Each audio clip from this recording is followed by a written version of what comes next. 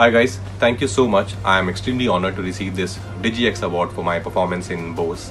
Um, I want to thank AdGully Networks, uh, Team Alt, my the whole cast and crew of uh, Bose. Of course, it wouldn't have been possible without them. Um, Bose was not at all an easy part for me to play. It was a tough journey, a tough ride for all of us, and I'm extremely honored that you guys have uh, appreciated my effort and you know now honoring me with this award. Thank you, jury members. Thank you, people who voted for me and Digixx for bestowing me with this prestigious award, Star Entertainer. It's, it's amazing to win this. I'm hoping forward to probably winning some more. I think it's a very prestigious award when it comes to the digital platform and the way you all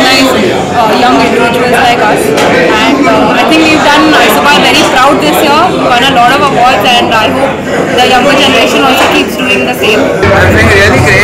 It's a great honor. It's a very prestigious platform and to win the Marketer of the Year award is a treat. Thank you for having me.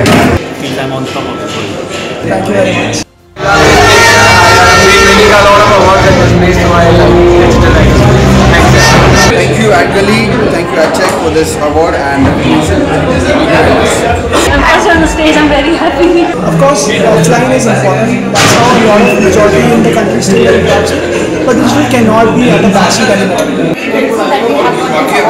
So we have really done some exciting work. Thanks, AdGully. The kind of message that you're giving out there to the audience, it's, it's, it's really necessary to see to it that we're very mindful of the message that we're putting across because uh, the platform, you know, is, is, is influencing ever so many youth year on year. So I think responsibility is a big, big, big, big part of what we One thing is uh, when it comes to mobile, uh, we should have a lot more innovations uh, rather than just performance. And when it comes to the digital platform, I think clients should be okay with exper-